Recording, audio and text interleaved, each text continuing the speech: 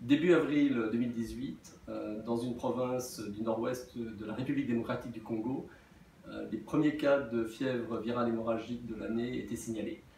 Dans ce pays qui vit sa neuvième épidémie d'Ebola, la maladie est connue et il a fallu seulement quelques jours pour que le diagnostic soit confirmé dans un laboratoire de Kinshasa, euh, révélant ainsi qu'il s'agissait bien de cette épidémie redoutée due au virus Ebola et la souche présente cette fois-ci la souche qu'on appelle Zaïre. Heureusement, dans un pays qui a déjà connu euh, neuf épidémies, euh, les moyens de réponse euh, ont été mis en place rapidement et les leçons apprises de l'épidémie d'Afrique de l'Ouest de 2013-2014 semblent avoir été retenues.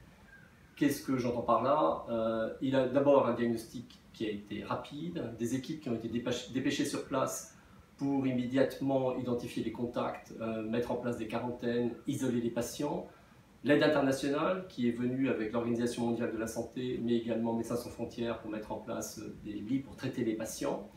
Et puis, euh, et c'est une nouveauté dans cette épidémie, un vaccin qui n'avait jamais pu être utilisé, car c'est la première fois qu'on a un vaccin qui marche contre le virus Ebola.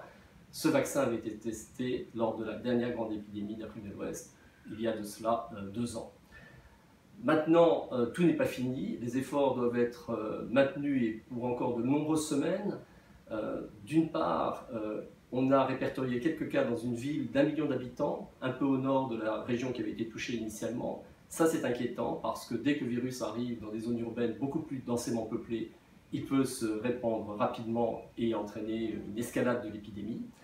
Et puis, d'autre part, on sait que le temps d'incubation et la plus de 10 jours, euh, fait que même si aujourd'hui, depuis quelques jours, on n'a pas de nouveaux cas répertoriés, ça peut arriver à tout moment et euh, éventuellement euh, voir une épidémie se remettre à flamber, comme ça avait été le cas il y a quelques années en Afrique de l'Ouest. Si vous vous souvenez bien, en 2013-2014, en mai 2014, on pensait que l'épidémie avait été contenue. Malheureusement, il y avait quelques patients qui étaient partis vers le Sierra Leone, vers le Liberia, et qui avait été à l'origine d'une recrudescence, d'un redémarrage de l'épidémie quelques semaines plus tard, euh, atteignant des proportions euh, considérables au mois d'août 2014. Donc aujourd'hui, la vigilance est de mise. Néanmoins, euh, on se rend compte dans cette épidémie que la réponse a été rapide et on l'espère tous efficace.